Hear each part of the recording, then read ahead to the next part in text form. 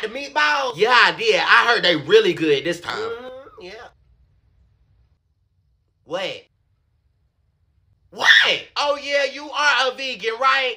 I bet this make you mad, don't it? think that's funny? You think harming animals is funny? Um, we didn't harm no animals. We just eating them. Yeah, don't be trying to force your beliefs on us. You guys are going to have high cholesterol. You think you Pocahontas now because you eating the leaves, petals, and tree branches and chlorophyll and stuff? You could never be Pocahontas. could never.